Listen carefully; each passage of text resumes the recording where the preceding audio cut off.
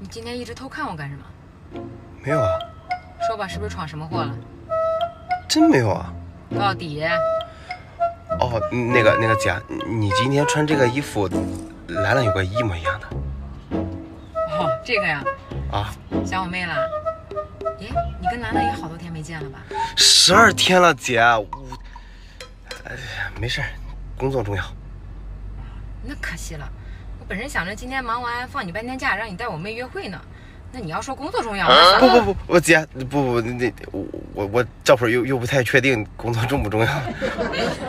今天上午刚好别人给了两张电影票，你带我妹去看吗？消失的她。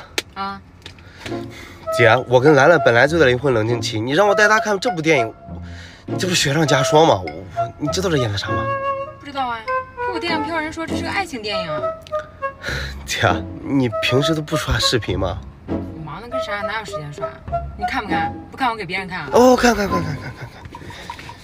走吧，客户还等着呢。哦，行。Later，终于见到他了，这么久没见，聊点什么？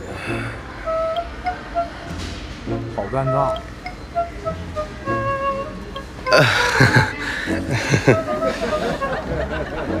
我最……你刚刚说什么？啊，没什么，先看电影吧。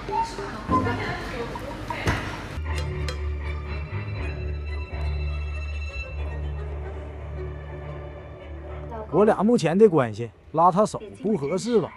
叔，你们到底想干什么？又胡说什么？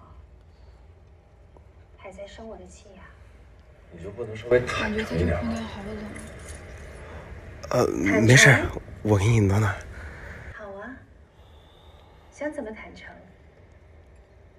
这电影后劲还挺大的，好像挺心疼女主的。兰兰，我以后有钱了，我绝对不会赌博，黄赌毒我一概不沾。